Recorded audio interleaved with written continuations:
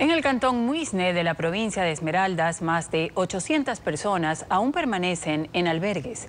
Varios habitantes regresaron a la isla pese a que fue declarada una zona de alto riesgo.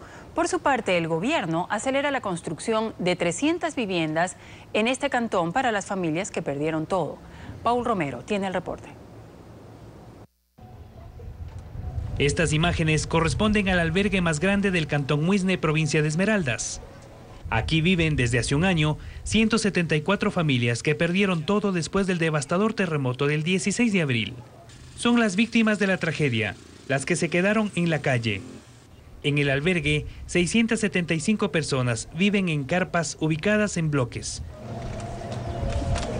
A tres kilómetros de este lugar se encuentra otro albergue con 54 familias. Son 201 personas que pasan en carpas e instalaciones provisionales entre ellas Mónica Santos, una joven madre que perdió todo y espera salir pronto a una vivienda construida por el gobierno. Para mayo ya estamos igualmente ya saliendo, el primer albergue sale este. Para mayo están entregando a las primeras casas como quiera. Se refiere a estas viviendas que el régimen construye en el continente fuera de la isla de Muisne. Son casas antisísmicas de hormigón armado que se levantan a toda prisa. Según información del Ministerio de Desarrollo Urbano y Vivienda, en este cantón esmeraldeño están en construcción 300 viviendas con una inversión de 16 millones de dólares.